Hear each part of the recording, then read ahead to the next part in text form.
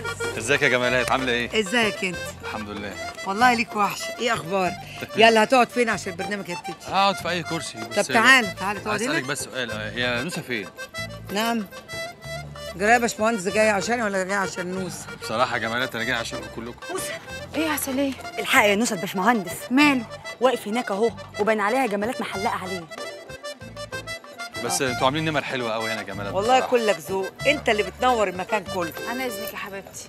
جرايه مسهوكه إيه يا بت هنقطع على بعض ولا إيه يا حبيبتي؟ قولي الكلام ده لنفسك يا أختي. يعني إيه أقول الكلام ده لنفسي يا دلعات لا مؤاخذة يا جمالات لا مؤاخذة. انت إيه اللي جايبك إيه يا نوسة مش عايزة تشوفيني ولا إيه؟ لا أنا قصدي سبت سيرك وانت عيان وجيت. لا خلاص ما أنا خفيت أهو بقيت زي البومب. مالكش حق يا عمر وما أتفرجش عليك يا نوسة ما أقدرش. المهم اللي اتفقنا عليه لبطل الأبطال خربوش جاهز؟ طمن أنا وعسلية ومش مش غيرنا كل حاجة. برافو عليك يا نوسة برافو عليك. على فكرة.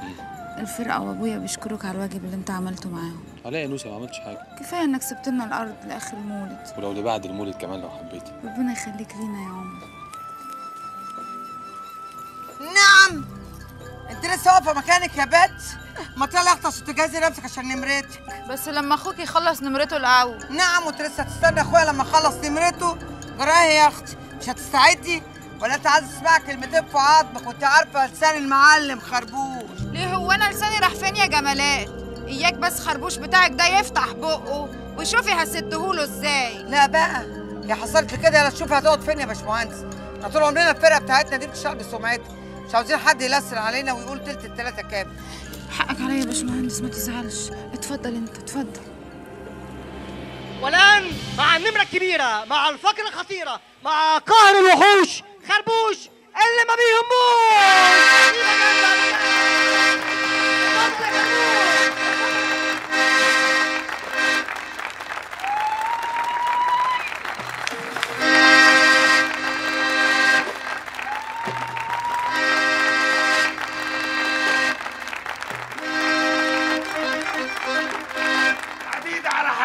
يفعل الله ما يريد. معاكم خربوش اللي ما بيهموش سمعوني سافة محبة في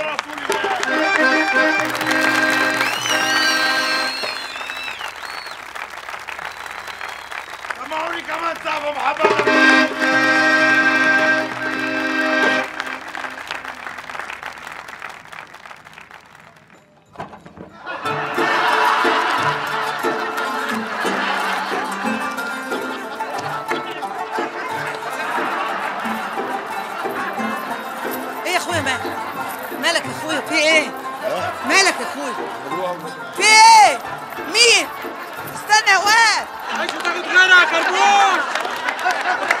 إيه اللي أخرك كده يا مها؟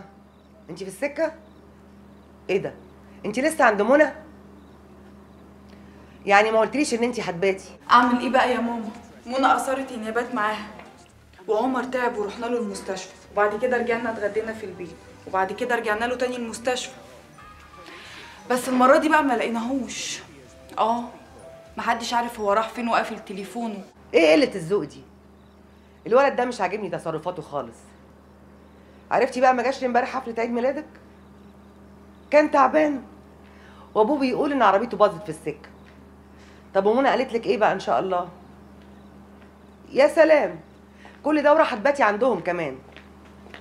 والله لي حق يعمل فيكي أكتر من كده. ما دام شايفك مدلوقة عليه. يلا يلا. خلي بالك من نفسك. باي.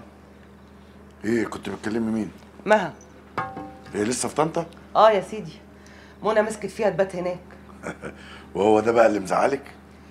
الولد بيعملها معاملة وحشة قوي يا عبد القوي. معاملة مش عجباني خالص. إزاي يعني؟ ما شفتوش. امبارح ما جاش ولا عبرها في عيد ميلادها.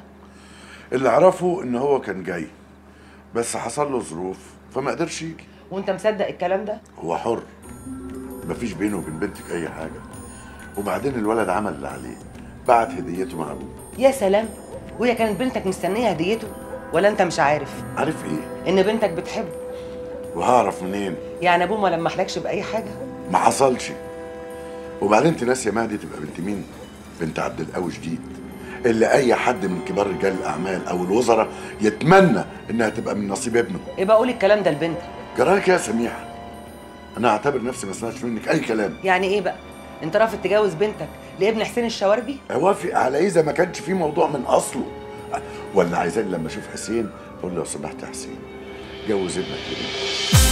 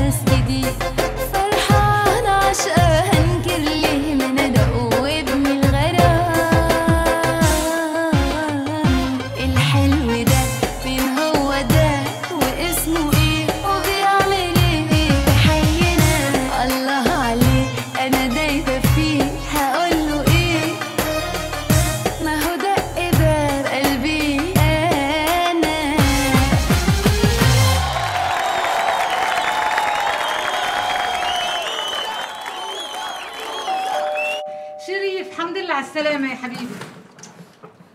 وحشتيني وحشتيني قوي يا ماما. كده برضه يا شريف الغيبة الطويلة قوي دي. وأنا مش كنت دايما بكلمك واطمنكم عليا وأقول لكم إن أنا في الشغل. تمام يا ست لؤي الحمد لله على السلامة. الله يسلمك يا شريف. وحشتني قوي عامل إيه؟ الحمد لله تمام. أمال إيه الشرط دي كلها يا ابني؟ لا ما أنا جبت كل حاجتي معايا. خير. نقلت. إزاي الكلام ده يحصل؟ ده أنت يا ابني ما كملتش ست شهور في دمنهور. شغلي مش عاجبهم لما كنت خلاص شوية شوية هقلب المكتب على المأمور في الاسم. عشان إيه ده كله؟ هو الفساد لما بعيني عينك بالمنظر ده. صعب إن الإنسان يسكت. على الأقل يبين إنه عارف يتكلم يقول أي حاجة يحسسهم إن ده لازم يتغير. قول لي يا شريف إيه اللي حصل بالظبط؟ نقلوني دشنا يا